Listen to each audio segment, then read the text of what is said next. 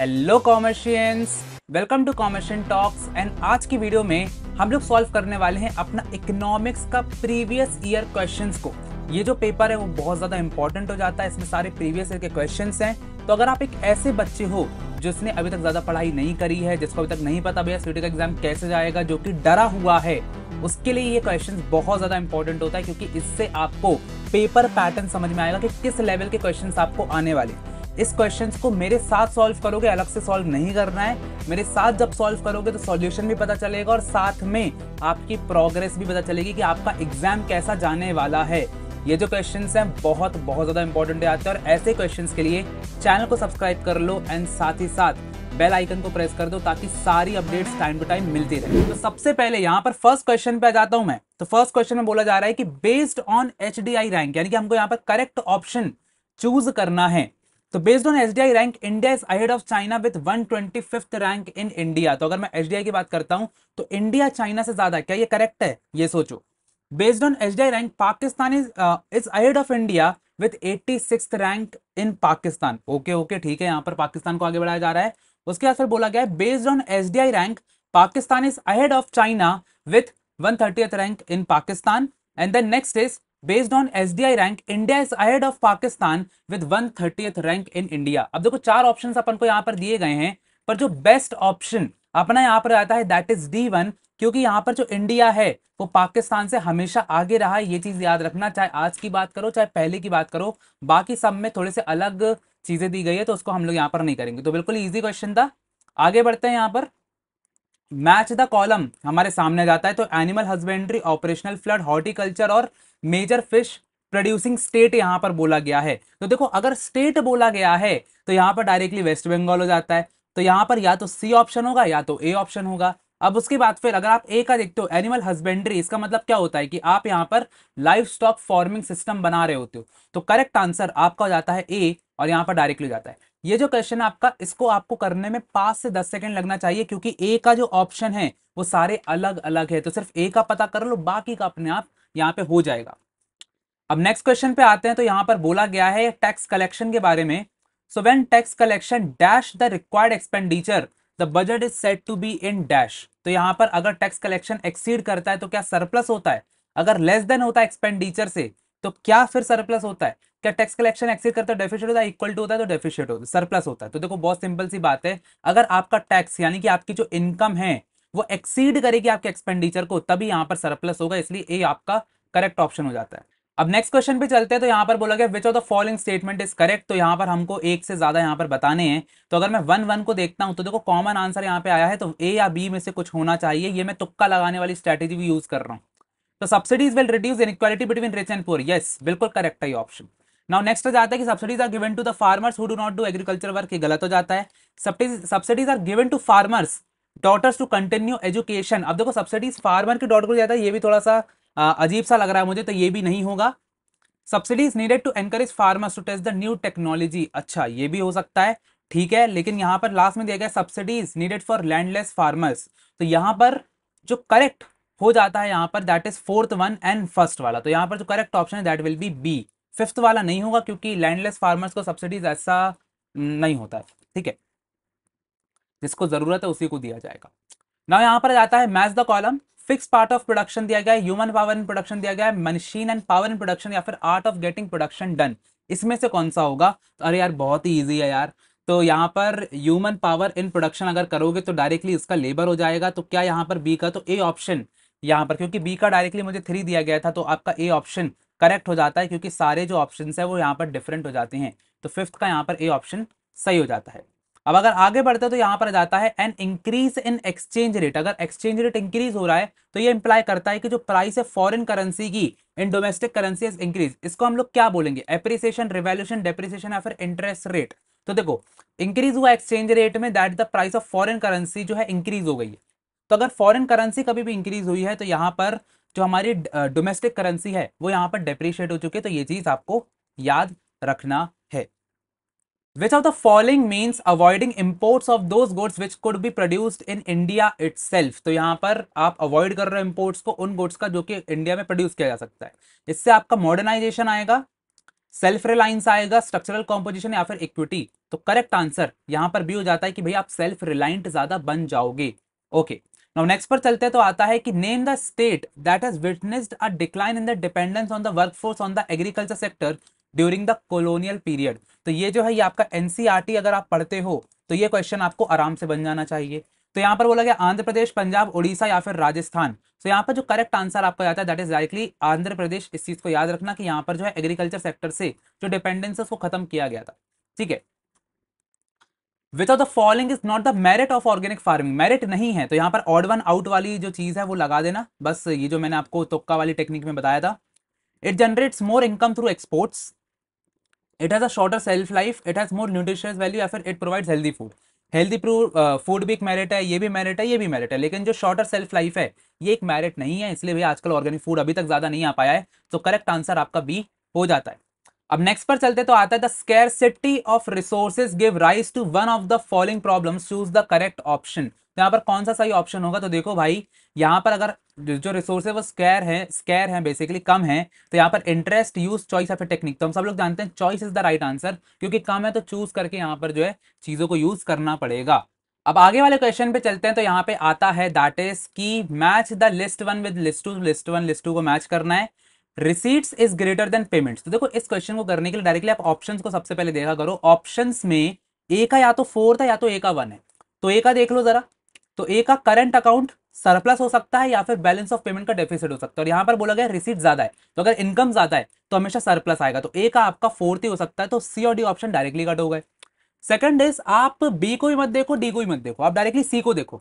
Receipts अगर आपकी कम है पेमेंट से तो यहाँ पर क्या होगा? डेफिसिट होगा, यानी कि सी का आपका सेकंड होना चाहिए। तो सी का सेकंड इसमें दिया गया तो ए इलेवेंथ का ए ऑप्शन यहाँ करेक्ट हो जाता है। डायरेक्टली मैंने एलिमिनेशन टेक्निक का यूज़ किया और कुछ नहीं किया। ट्वेल्थ पर चलते हैं तो जाता है chronologically arrange the following events आपको अरेंज करना है फॉलोइंग इवेंट्स को। नीति आयोग स्टैब्लिश हुआ था ग्रीन रेवोल्यूशन स्टार्ट हुआ था setting up of planning commission okay industrial policy resolution तो देखो, सबसे पहले अगर मैं बात करता हूँ तो सबसे पहले तो फ़र्स्ट फाइव ईयर प्लान ही नहीं। या तो वन आएगा, या तो फाइव आएगा। तो देखो वन आएगा, या तो फिफ्थ आएगा। तो सबसे पहले प्लानिंग कमीशन यहाँ पे सेटअप हुआ था। तो फिफ्थ से अपना स्टार्ट हो जाएगा। फिफ्थ के बाद अपना फोर्थ ही आएगा क्योंकि दोनों ऑप्शन में फोर्थ दिया गया है। देन थर्ड या फिर सेकंड आएगा। तो या तो ग्रीन रेवोल्यूशन आएगा या तो इंडस्ट्रियल पॉलिसी रेजोल्यूशन आएगा। तो इंडस्ट्रियल पॉलिसी रेजोल्यूशन 1956 में हुआ था। तो मैं यहाँ पर जाना चाहूँगा। करेक्ट आंसर आपका हो जाता है सेकंड hmm, वाला। तो D is your right answer twelfth का डी आंसर सर राइट हो जाएगा। Identify which of the following concept can be negative APC MPC APS या फिर एमपीएस तो हम सब लोग जानते हैं कि यहाँ पर जो एपीसी है, वो कभी भी ज़ीरो नेगेटिव नहीं हो सकता है, क्योंकि कंजम्पशन कभी भी नेगेटिव में नहीं जाता है। एमपीसी भी कभी भी नेगेटिव नहीं हो सकता, क्योंकि कंजम्पशन की बात है। पर एपीएस में सेविंग्स की बात हो रही है, और सेविंग्स कैन बी नेगेटिव हम सब लोग जानते हैं नेगेटिव में आ सकती है। तो APS is your right answer MPS भी नहीं होता एमपीएस की बस जो वैल्यू है, वो ज़ीरो से वन के बीच में होती है। ये चीज़ याद रखना, क्योंकि वो मार्जिनल है। Which of the following is not a component of the capital account in the balance of payment account again बहुत ईजी है. F D I portfolio investment external assistance या फिर नेट फैक्टर इनकम तो यहाँ पर कौन सा कैपिटल अकाउंट में नहीं आएगा? तो देखो कैपिटल अकाउंट में एफ़ डी आई तो आएगा पोर्टफोलियो भी आएगा एक्सटर्नल असिस्टेंट भी आएगा, लेकिन यहाँ पर जो नेट फैक्टर इनकम है वो नहीं आएगी क्योंकि भैया एक पर पर्सन की इनकम की यहाँ पर बात की जा रही है। तो यहाँ पर करेक्ट आंसर आपका डी हो जाता है।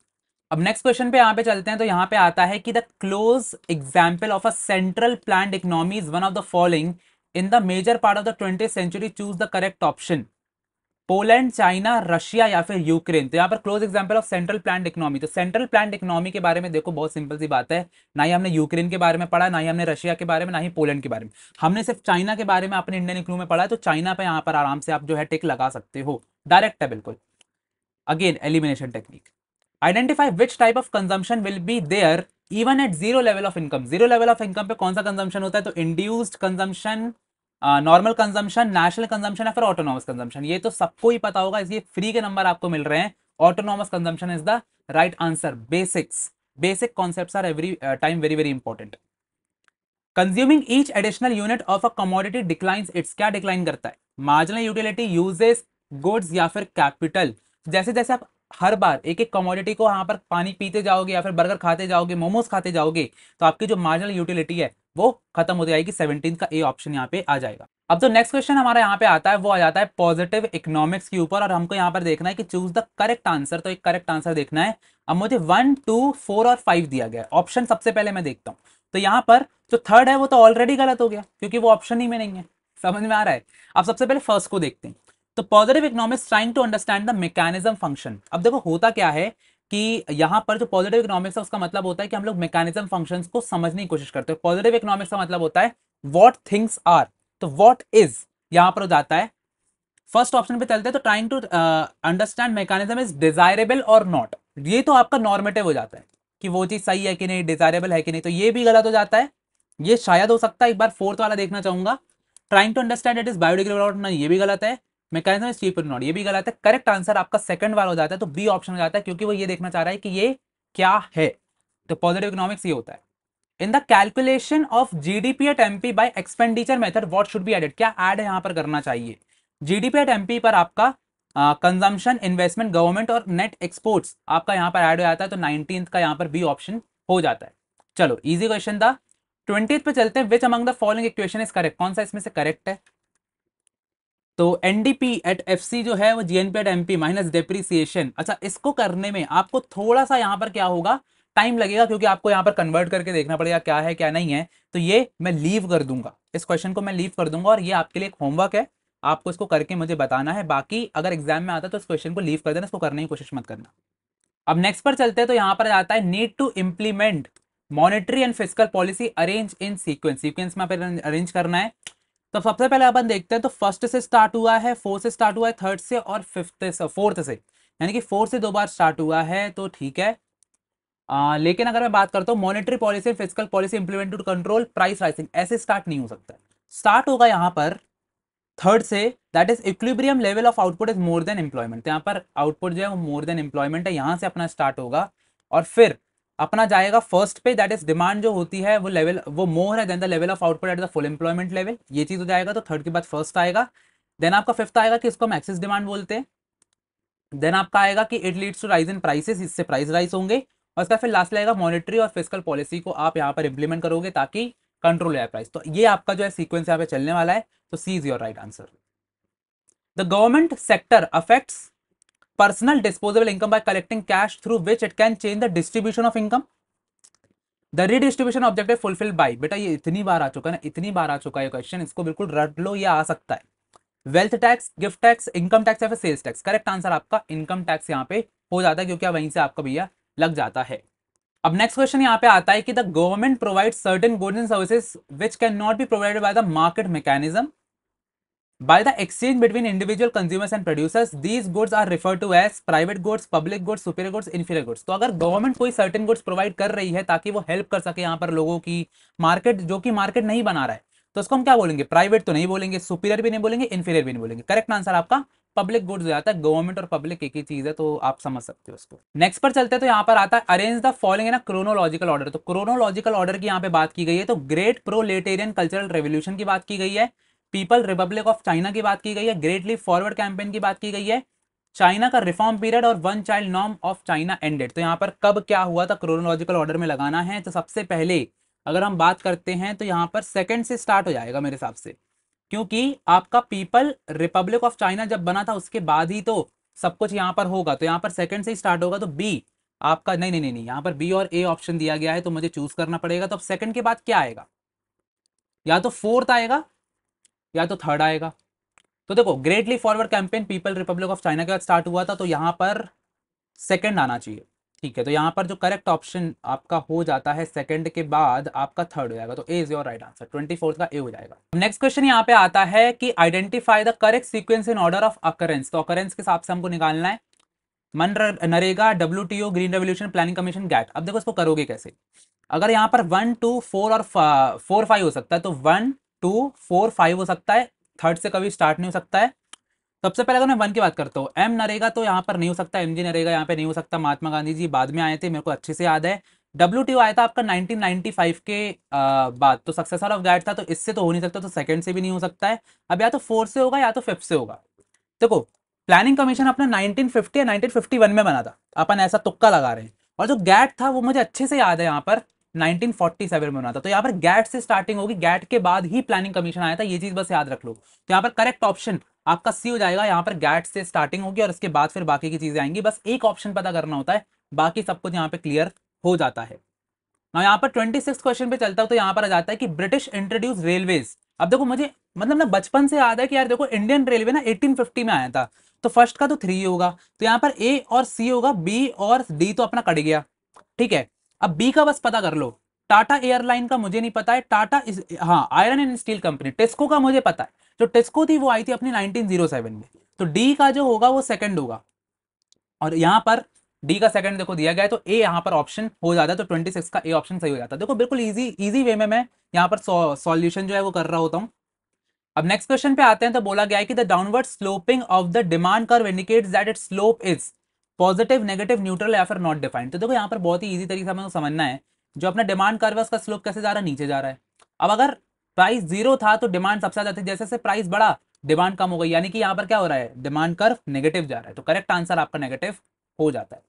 आगे बढ़ते तो आता है in balance of payment account portfolio investment is a part of post office capital account current account या फिर बैंक अकाउंट तो यहाँ पर जो करेक्ट आंसर आपको याद है कि जो बैलेंस ऑफ़ पेमेंट अकाउंट होता है तो पोर्टफोलियो जो इन्वेस्टमेंट होता है, वो हमेशा कैपिटल अकाउंट होता है। ऐसा सेम क्वेश्चन अभी मैंने अपन किया था। ऊपर ही अपन ने क्वेश्चन किया था, जहाँ पर अपन को नेट फैक्टर इनकम वाला पूछा गया था, उसमें ये पोर्टफोलियो इन्वेस्टमेंट ऑप्शन में था।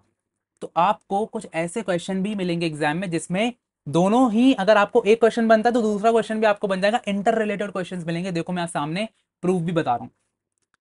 If the equation of the demand curve takes the form of P Q equals to E okay where E is constant expenditure is always same as equal to E then the demand curve will be in the shape of rectangular triangular tri, uh, triangular uh, hyperbola hyperbola hyperbola या फिर hyperbola rectangular अब देखो ये किसी को समझ में नहीं आया हो और यहाँ पर अगर ये क्वेश्चन मुझसे नहीं बन रहा है तो मैं क्या करूँगा?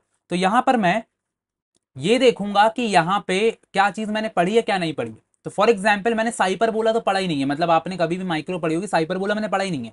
तो ए ऑप्शन नहीं हो सकता और बी ऑप्शन भी नहीं हो सकता। अब देखो रेक्टेंगुलर होगा या तो ट्राइंगल होगा। तो अभी यहाँ पर अपन को तुक्का लगाना है। तो देखो expenditure is always same and equal to E the demand curve will be in the shape of किस शेप में होगा डिमांड कर्व तो देखो मैक्सिमम टाइम अगर आपने थोड़ा बहुत भी पढ़ा होगा तो यहाँ पर जो करेक्ट आंसर है होगा, वो हमेशा होगा रेक्टेंगुलर हाइपरबोला ट्राइंगुलर हाइपरबोला आज तक सुना नहीं है, ना कभी होता है। सो करेक्ट आंसर आपका डी ही होगा रेक्टेंगुलर हाइपरबोला ठीक है? थर्टी पे चलते तो जाता है among the following identity identify the intermediate goods तो इंटरमीडिएट गुड्स निकालना अपन को बहुत ही ईजी है। Straw use for sipping cold drinks तो यहाँ पर जो स्ट्रॉ है, आपने उसको यूज़ किया था कोल्ड ड्रिंक्स के लिए। क्या यहाँ पे कोई रीसेल हो रहा है या कुछ हो रहा है? तो नहीं हो रहा तो ये चीज़ तो नहीं होगी। तो वन वाला तो चीज़ नहीं हो सकता तो वन एंड टू वाला कट जाता है। फोर्थ एंड वन वाला भी कट जाता है। तो या तो आप थर्ड एंड फिफ्थ होगा, या तो सेकंड एंड फोर्थ होगा। तो देख लेते हैं। Copper use black board use for teaching तो देखो ब्लैक बोर्ड जो आप यूज़ कर रहे हो, वो हमेशा रहने वाला है तो ये भी नहीं हो सकता। तो सेकंड वाला भी नहीं हो सकता है। सो करेक्ट आंसर आपका थर्ड और फिफ्थ होगा, आप करके भी देख सकते हो। तो थर्ड वाला copper use for making utensils तो आपने चेंज कर दिया उसको तो यहाँ पर ये भी हो जाएगा, और फिफ्थ वाला शीट्स टूल्स फॉर ऑटोमोबाइल्स ये भी हो जाएगा। तो यहाँ पर थर्ड और फिफ्थ जो है, वो करेक्ट आंसर आपका हो जाता है। तो ए आपका सही आंसर है। अब नेक्स्ट क्वेश्चन पे आते तो यहाँ पर बोला गया है कि select which of the following is not one of the components of the aggregate demand for final goods तो कौन सा कॉम्पोनेंट नहीं होगा? तो ex ante consumption investment post consumption या फिर गवर्नमेंट स्पेंडिंग अब देखो, यहाँ पर बहुत सारे बच्चे कंफ्यूज होंगे कि भैया हम टू सेक्टर मॉडल पढ़ते हैं तो AD equals to C plus I होता है तो आप गवर्नमेंट स्पेंडिंग पे टिक करके आओगे। पर ये बिल्कुल गलत होगा। क्यों होगा? क्योंकि यहाँ पर जो है अगर हम बात करते हैं तो एक्सेंटे कंजम्पशन भी देगा पोस्ट कंजम्पशन भी। तो पोस्ट कंजम्पशन हम कभी भी नहीं लेते। अगर ये ऑप्शन यहाँ पर नहीं होता तो यहाँ पर मैं क्या कर रहा होता गवर्नमेंट स्पेंडिंग पे लगाता, क्योंकि टू सेक्टर मॉडल पे दिमाग जाता। बट यहाँ पर क्योंकि ऑप्शन दिया गया था तो करेक्ट ऑप्शन अपना जो होता है, जो कि यहाँ पर इनकरेक्ट है that is ex post consumption hopes आपको क्लियर हो रहा होगा। अब नेक्स्ट क्वेश्चन पे चलते हैं तो यहाँ पर बोला गया डिमांड इक्वेशन जो कि दो कंज्यूमर्स की हमको दी गई है। सो डी वन यहाँ पे दिया गया है और डी टू भी यहाँ पे दिया गया है। और यहाँ पर बोला गया कि जो डी है डिमांड और पी प्राइस है तो हम सबको पता है। अब यहाँ पर बोला गया मार्केट डिमांड हमको निकालना। अब देखो मार्केट डिमांड निकालने का एक ही तरीका है। दैट इज़ कि आपको यहाँ पर जितनी भी डिमांड दी गई है, सबको प्लस कर देना है। तो यहाँ पर प्राइस आपको दो दिया गया है तो दो को बस ये जो पी दिख रहा है ना, उसके दावा पे मल्टीप्लाई कर दो। तो टू टेन जा टू टू जा फोर होगा तो टेन माइनस फोर सिक्स यहाँ पे आएगा, और प्लस इस पे कर दोगे आप तो यहाँ पर twenty minus eight into sixteen आएगा तो प्लस फोर तो यहाँ पर टेन जो है, वो टोटल आपकी डिमांड आएगी तो D is your right answer बिल्कुल ईजी है, ज़्यादा कोई दिक्कत नहीं है। चलो, आगे बढ़ते हैं। Identification of poverty line use in Indian chronological order तो यहाँ पर आप कैसे करते हो तो ये चीज़ आपको पता होना चाहिए। इंडियन इकोनॉमी का डायरेक्टली डायरेक्टली यहाँ पे कॉन्सेप्ट हमारे सामने आ जाता है। तो यहाँ पर ऑप्शन को देख करके थोड़ा सा प्रोडिक्ट करने की मैं कोशिश करूँगा। तो सबसे पहले या तो थ्री होगा, या तो वन होगा, या तो फोर या तो टू देखो, बिल्कुल ईजी कर दिया गया, सिर्फ़ एक चीज़ अपन को निकालना है। ठीक है तो फ़र्स्ट में क्या आएगा? तो अगर मैं यहाँ पर बात करता हूँ, सबसे पहले आप अगर पॉवर्टी लाइन की बात करते हैं तो सबसे कम पैसा जो होता है, वो जेल कॉस्ट ऑफ़ लिविंग का होता है। तो यहाँ पर जो करेक्टली हमारा जो सी ऑप्शन है, वो यहाँ पर डायरेक्टली से हो जाता है, क्योंकि जेल कॉस्ट ऑफ़ लिविंग सबसे पहले आता है, फिर आपका टास्क फोर्स और मिनिमम नीड्स आता है, ठीक है? उसका फिर उसके बाद फिर अगर मैं बात करूँ तो थर्ड आता है that is monthly per capita income और उसके बाद लास्टली आता है आपका सेन इंडेक्स ठीक है? तो यहाँ पर लास्टली सारी चीज़ें जाती तो बस एक चीज़ कर लो, बाकी सब हो जाएगा। अब नेक्स्ट क्वेश्चन पे यहाँ पे चलते हैं तो आ जाता है कि choose the correct statements statements correct देखना अपन को W T was founded in 1995 बिल्कुल सही है। W is expected to establish a rule based trading regime में ये भी सही है। अगर आपको नहीं समझ में आ रहा तो आप ऑप्शन देख करके लगा सकते हो। तो वन सारे ऑप्शन में दिया तो वन सही होगा। सेकंड भी हमको लगभग सारे ऑप्शन में दिया और सेकंड सही भी है। तो ये करेक्ट हो जाएगा। W T T O has twenty three others members नहीं ट्वेंटी थ्री मेंबर्स यहाँ पे नहीं है। ज़्यादा मेंबर्स हैं। कम से कम हंड्रेड से ऊपर इतना अपन को पता है। तो ये थर्ड गलत हो जाता है। तो जैसे थर्ड अपन को गलत मिलता है। ए ऑप्शन में थर्ड है। ए गलत हो गया। सेकंड ऑप्शन में थर्ड है। ये भी गलत हो गया। और डी सी ऑप्शन में थर्ड नहीं है। तो ये सही हो सकता है, और अगर मैं डी ऑप्शन की बात करता हूँ इसमें भी थर्ड दिया गया है तो ये भी गलत हो जाता है। तो करेक्ट ऑप्शन आपका सी हो जाएगा, आगे दिमाग ही नहीं लगाना। डायरेक्टली सी ऑप्शन पे क्लिक करके आ जाना है। अब नेक्स्ट पर चलते तो फिर से हमारे सामने आता है आइडेंटिफाई द करेक्ट स्टेटमेंट तो करेक्ट स्टेटमेंट यहाँ पे निकालना है। तो GDP at MP is the monetary value of all the final goods and services produce within a domestic territory of a country measured in year तो नहीं, यहाँ पर थोड़ा सा गलत हो जाएगा। तो ये ऑप्शन पहला गलत हो जाता है। सेकंड इज़ की GDP at MP is equals to consumption investment government यहाँ पर जाता है और प्लस आपका नेट एक्सपोर्ट हो जाता है वेर सी इज़ कंजम्पशन अच्छा हाँ इनने खुद ही बोल दिया यहाँ पर तो ये तो ऑप्शन बिल्कुल सही हो जाता है। इसके अलावा G D P at MP is equals to G D P F C minus N I T नहीं माइनस नहीं होगा प्लस होगा, क्योंकि यहाँ पर सब कुछ सेम दिया गया है, सिर्फ़ एफ़ सी से एम पी जाना है तो कभी भी मार्केट प्राइस पे जाना तो प्लस होगा। तो ये वाला ऑप्शन गलत हो जाता है। G D P at M P is the income earn by the factors in the forms of wages profit rent and interest etcetera with in the domestic territory फिर से गलत हो जाता है क्योंकि डोमेस्टिक टेरिटरी फिर से बोल दिया। GDP is the market final value of all the final goods and services produce with in the domestic territory of a country measured in a year ये बिल्कुल सही है। तो यहाँ पर जो करेक्ट ऑप्शन आपका हो जाता है दैट इज़ uh, यहाँ पर सेकंड और फिफ्थ यहाँ पर हो जाएगा। क्लियर है? चलो। In year in which year Pakistan announce its first five year plan तो फ़र्स्ट फाइव ईयर प्लान कब आया था? 53, 51, 54 या फिर 56 तो यहाँ पर जो करेक्ट ऑप्शन आपको आया था दैट इज़ 36 का 1956 में फ़र्स्ट फाइव ईयर प्लान आया था। नेक्स्ट आता है the time period of financial year in India is first January से thirty first December okay thirty April first April या फिर फोर्टीन जनवरी तो ये बहुत सारे लोगों को नहीं पता होगा तो फाइनेंशियल ईयर हमेशा होता था फ़र्स्ट अप्रैल से थर्टी फ़र्स्ट मार्च होता है। ये तो यार मतलब सही करके ही आना है इस पर कंफ्यूज नहीं होना है। ठीक है फिर से मैच करना यहाँ पर मैच द कॉलम अगेन देखो ईयर के क्वेश्चन बहुत सारे आए हैं. ईयर के क्वेश्चन आपको करके ही करके जाना पड़ेगा स्पेशली इंडिया पाकिस्तान चाइना वाला जो चैप्टर है, उस पर ईयर बहुत ज़्यादा इंपॉर्टेंट है. सबसे पहले जो रिपब्लिक जो चाइना था वो कब आया था? तो 1947 में अपन आए थे और 1949 में मेरे हिसाब से आया था तो सी का फ़र्स्ट होना चाहिए. तो सी का फ़र्स्ट यहाँ पर सिर्फ़ इसी ऑप्शन में दिया गया है तो यहाँ पर करेक्ट ऑप्शन आपका डी हो जाता है। तो ए का अगर मैं देखता हूँ डी होना चाहिए। फ़र्स्ट फाइव ईयर प्लान हाँ 1956 में तो देखो, बिल्कुल एक ऑप्शन लगा ला, उसी से यहाँ पर सही हो गया। तो यहाँ पर 38 का डी होगा। नाउ नेक्स्ट क्वेश्चन पे चलते हैं तो आता है कि name the person who introduce commune system in China तो कम्यून सिस्टम कौन लेके आया है? William Digby doctor Rao Mayo या फिर वर्गीस कुरीन? तो इसका नाम तो सुना ही नहीं तो इसको पहले कट कर दो। विलियम डिग्बी यहाँ पर इकोनॉमिक उसने अपने यहाँ पर इंडिया में आकर के अपना पर कैपिटल इनकम और जीडीपी कैलकुलेट करी थी। वो भी नहीं होगा। डॉक्टर राव को भी मैंने नहीं सुना और यहाँ पर माओ, सिर्फ़ माओ का नाम मैंने सुना डायरेक्टली इस पर क्लिक कर दूँगा। करेक्ट है बात? चलो। फोर्टी पे चलते हैं तो गैट वॉज़ स्टैब्लिश्ड क्यों गैट को स्टैब्लिश किया गया था? Administer all multilateral trade agreements by providing equal opportunities to all countries in the international market ठीक है? To cover trades in all the goods and services to facilitate international trade sell part of the equity to the public sector to hire regular commercial service ये भी गलत होगा, ये भी गलत होगा। टू ट्रेड ऑल एंड ये भी हो सकता है और ये भी हो सकता है। तो अब बताओ, क्या होगा यहाँ पर? फोर्टी का क्या होगा? ए होगा कि बी होगा? तो यहाँ पर to cover trade in all नहीं, ये ज़्यादा सेंस मुझे बना रहा है क्योंकि यहाँ पर administer all multilateral trade equal opportunity सारी कंट्री को बनाना है। तो A is your right answer here तो यहाँ पर मैंने आपको 40 क्वेश्चन करा दिए हैं। आगे आपका केस बेस्ड क्वेश्चन जाते हैं दो, जो कि आपके होमवर्क हो जाते हैं। तो ये क्वेश्चन आपको अपने साथ में कर लेना है। ये क्वेश्चन की शीट आपको मेरे टेलीग्राम पे भी मिल जाएगी। आपको मेरे व्हाट्सएप पर मिल जाएगी। दोनों ग्रुप को ज्वाइन कर लो भाई, कहीं पर भी अपलोड हो सकती है। इसके साथ अगर वीडियो पसंद आई हो तो लाइक करो सब्सक्राइब करो कॉमेंट करो, ज़्यादा से ज़्यादा शेयर करो ताकि सबकी हेल्प होती रहे। मिलते हैं अगली वीडियो में, तब तक के लिए ऑल द